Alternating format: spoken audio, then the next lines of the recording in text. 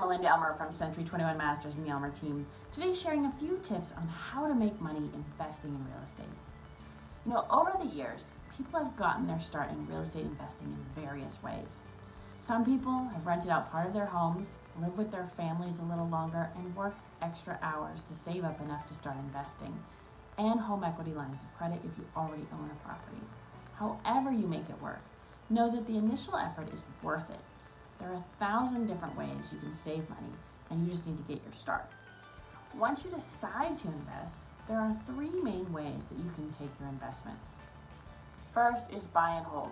Now, frankly, this is the most traditional and really the most conservative method.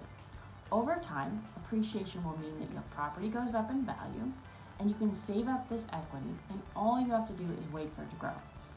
This method can be focused in a variety of ways as well, from value add where you buy, fix up, renovate, and rent out, or simply just purchase.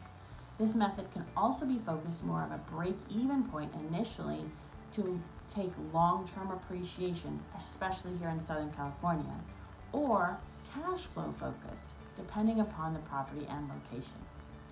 Flipping. Now, this method requires more work, more capital, and additional risk.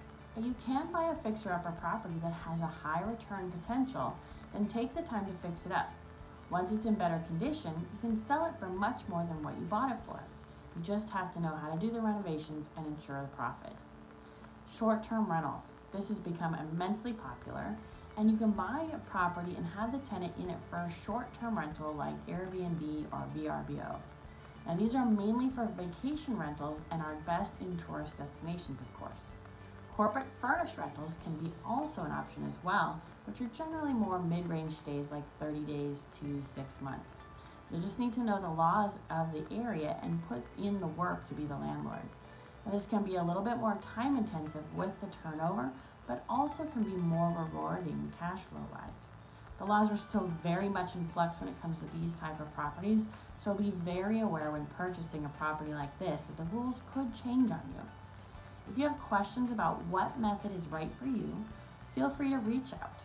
Our number is 562 316 2915, or you can email me at melinda at theelmerteam.com. Thank you so much for watching, and please feel free to forward and share this with your friends.